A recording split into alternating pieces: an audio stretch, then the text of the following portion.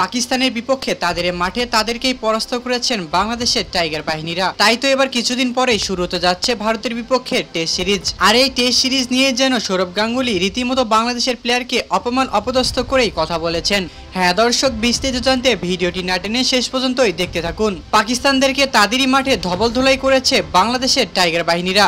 শান্ত সাকিবের এমন পারফরমেন্স সারা বিশ্বে প্রশংসায় বন্যা বইয়ে দিয়েছে। তবে এবার যেন তাদের এমন জয় কোনোভাবেই সহ্য করতে পারছিলেন না সৌরভ গাঙ্গুলি। তাই তো সৌরভ গাঙ্গুলি বাংলাদেশ ও ভারতের বিপক্ষে টেস্ট সিরিজ নিয়ে যখন বাংলাদেশের কিছু হুঁশিয়ারি দিয়েছিলেন, ঠিক তখনই তিনি বলেন, বাংলাদেশ হয়তোবা পাকিস্তানকে হারাতে পেরেছে, কিন্তু আমাদের মতো ভারতের সাথে কোনোভাবেই পেরে উঠতে পারবে না। আমাদের দলে বেশ শক্তিশালী প্লেয়ার রয়েছে তাদেরকে হারানো এতটা সহজ নয়। পাকিস্তান হয়তোবা একটু বোকা ছিল, তাই হয়তোবা বাংলাদেশের মতো এত ছোট দলের সাথে হেরে গিয়েছে, কিন্তু ভারতের প্লেয়াররা এতটা বোকা নয় যে বাংলাদেশের বিপক্ষে ভারত কম শক্তিশালী দল নিয়ে মাঠে নামবে। বাংলাদেশের প্লেয়ারের যদি ক্ষমতা থাকে, তাহলে আমাদের বিপক্ষে এবার জিতে দেখাক, এবং টাইগার বাহিনীর প্রতিটি প্লেয়ারই তো মাঠে ঘাটে খেলে বেড়ায়, এমনটাই বলে মন্তব্য করেছেন ভারতের সাবেক অধিনায়ক সৌরভ গাঙ্গুলি। আর এই বিষয়টা বেশ অপমান হয়ে দাঁড়িয়েছে বাংলাদেশের জন্য, তাই তো এবার সৌরভ গাঙ্গুলির এমন হুঁশিয়ারি প্রতিশোধ নেওয়ার জন্য বাংলাদেশের প্রতিটি প্লেয়ারই করেছে কঠিন পরিশ্রম। যেভাবে হোক, ভারতের বিপক্ষে টেস্ট সিরিজটি জয়লাভ করতেই হবে। তা না হলে বাংলাদেশের মান সম্মান কিছুই থাকবে না। মিশে যাবে সবকিছুই মাটিতে।